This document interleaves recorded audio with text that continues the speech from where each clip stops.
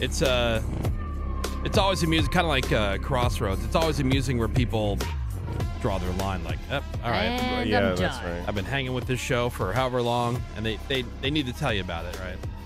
About Oh, how yeah. they're not going to listen anymore. The Right. latest- The latest one, yeah, we're talking about. Um, I said, hey, add add to my list a job I would never want, therapist. Therapist. And we started talking about, you know, Mm-hmm. therapy and blah blah blah blah. Somebody said uh, 949. Sorry, you lost a listener during that psychoanalysis discussion. I dialed out. I guess I chose to quote move on rather than catch up. Like Eh? what? What? Your experience with a therapist makes them leave. Okay. Or uh, yeah, just like we're. I was saying, I was watching that show um, with uh, Jason Segel and Harrison Ford. It's on Yeah. Apple TV Plus. It's called Shrinking. I thought it was a really good show, and you know, kind of thought train from there. But yeah, that that did it. Huh. That was Huh. it. Bye. Yeah, Zero that's controversy. so random. Yeah. That's so random. Okay, Very. okay. Uh, what do I mean, what are you gonna do? You win some, you lose Yeah. some. You know. Okay, bye. So weird. Thank you Bye. for uh, I mean, maybe it's a bad day, wrong side of the bed kind of thing. But again, interesting where people decide to draw the line. Uh, the other thing I brought up is I had a, uh, a an alert set for if and ever my grandma's house went on sale. I wanted to buy it, Yeah. yeah. and I wanted to, uh, you know, do like a uh, a remodel on it, and then rent it out or I don't know Airbnb something. But just I, I don't know. I think it'd be cool to have the house. I, this big part of my uh, my childhood memories Uh-huh. my grandma's house. And as we were talking about this recently, I went on to uh, Zillow and it said sold October 6th. It just sold. I never got the alert That it went on the market. You mean? Yeah. That it went on the market. How do you That set up sucks. an alert for that? Um, there's a couple different ways to do it. You could do it through, uh, sorry, Greg, I'm going to butcher the word, real, realtor.com. You nailed it. Okay. Yep. He gets mad. Uh, people When say peop- realtor. Real, What? realtor. Realtor. What's a realtor? I don't. Person sells houses. Someone who Yeah. sells jewelry. Uh, I, I have no idea who that is. Yeah, anyway, but um, Well, learn to speak. Yeah. So this this has sparked, and so I was so bummed out about you know missing out on this house. Mm-hmm. Guess who uh, got ignited by it? Sammy. Oh. This has become her pet project. she has gone and done all this like research and digging. She's made phone calls. I did. Yeah, I looked in to find out who the realtors were uh, with, with this whole transaction. The person who bought it, I found out. she found who the guy's bought it. Instagram who bought it. Wow. Yeah, I, ca- I call. I called. How'd you find the guy's Instagram? Uh, I because just I think it was on Zillow that said you know the buyer realtor and his name was there. So then I googled his name and his Instagram popped right up with Oh, it's- all of his it's- information. Okay, on so it. uh, it's not the homeowner's uh, Instagram. right, but when Gotcha. the house sold. The realtor posted, you know, a picture Oh, of like, you know, just sold to my friend, you know, and he said the name Right. of his friend, yeah, that kind of thing. So, so I reached out. Yeah. So So escrow's Mhm. over. He already owns it. Yes, he does. How much did it sell for? uh, 190. Nice.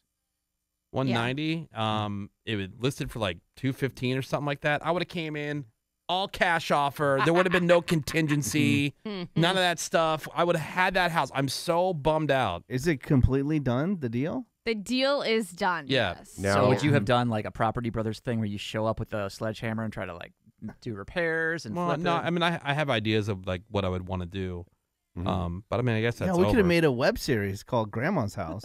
we talked about that but i mean Yeah. Not that i'd be I, I- I really just i don't know there, there's something um i don't know there, there there's something that just like in my in my mind like eh, like you feel it like i just i feel like i need to own that house But we I- can still go in. I mean, That's I what she have the keeps telling me. contact. Yeah. I'm like, you can still buy it. We can make an offer. I say Right. we, but If- you can make an if it offer. had if, it, if the deal hadn't closed already it'd be a lot easier True. Yeah, Yeah. but it doesn't mean like they've done anything yet. they haven't done anything but Yeah, he's like, probably moved, in, in. Maybe tell the Who knows? if it buyer closed if that- it closed on october 6th he's probably moved in yeah, but if you make it worth it for him to move out, yeah but how much is that I mean, yeah, because you got to well, throw that's in yeah. so much. Mom, okay, I tell you, my mom did this with her parents' house 20 years ago. One thing led to another. She doesn't talk to her sisters anymore. So Yeah, just well, did they- dodged a bullet here. Yeah, but did they go in on it together? No, I think That she bought it, drama? and then she was going kind of what Woody was doing. She was like, she would go up there for weeks at a time, do mm-hmm. remodels and Yeah. that sort of thing. I think she gave it to one of her sisters to live in. One thing led to another. Oh, they don't okay, talk to each other anymore. oh see i wouldn't yeah i'm not i'm not talking about doing that Your aunt Chrissy could move in. Well, no. So the thing is, um, I don't want to be a landlord per se. Like, I don't want to do any of that work. So I was thinking, like, my uncle Tim, who's married to my aunt Chrissy, Yeah. he is a property manager, and the building that he manages is literally within walking distance of my grandma's house. What? There in Mount Lebanon. Do it. Buy it.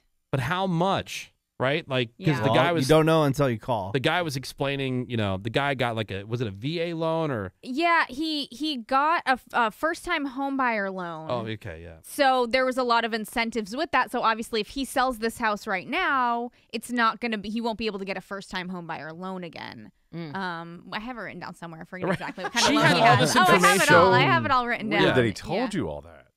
Well, no, that was in his Instagram post. I found all that out from Instagram to begin with, and then I Wow. just called him and was like, "Hey, I saw this. And I this noticed is how that." people get scammed. Yeah. Yeah. He's like, yeah. put out Right, yeah. because then they can call and Good say, like, "Hey, I'm- goodness. I'm from the VA loan office. Right, Give me yeah. your. She told me she came and she Social goes, "All right, so I Security. have some information." I called the guy. I said, "Hey, I'm calling about the house on Altoona," Uh-huh. and he's like, "Oh, John, or where the guy's name was." She goes, "Oh yeah, yeah." Anyway, I was like, "Are you like hi?"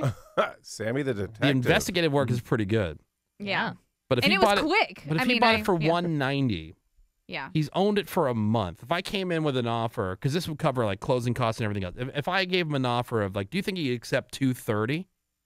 Mm. Uh, maybe. I think he would. That's Yeah. about break even though, because when she talks Right. about cost, you know, real realtor costs and and if you haven't lived there for for, for that guy. He didn't pay anything. He he's the he's the buyer. but he will on the, Yeah. on the back end. Like, Right, how much that- did he No, but if put he, down? but if But we're if- talking about a we're talking about a, a, a two hundred thousand dollar house. but it hasn't been his primary residence for two years, he'd get screwed on taxes. Right. Yep.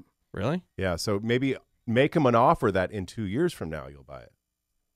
Because that that would be a Mm. big profit in two years. Hmm. yeah. Wait, why would he get screwed on taxes? I thought that was only if you didn't buy another house right after. Well, he's probably in the market to buy a house. But it- He's no? got to live somewhere. But Yeah. Right, but that's what but I'm saying. also is have to. buy 'em Yeah. out. I it thought has to be you. your primary residence. Just for put him two in like an extended stay or something. yeah.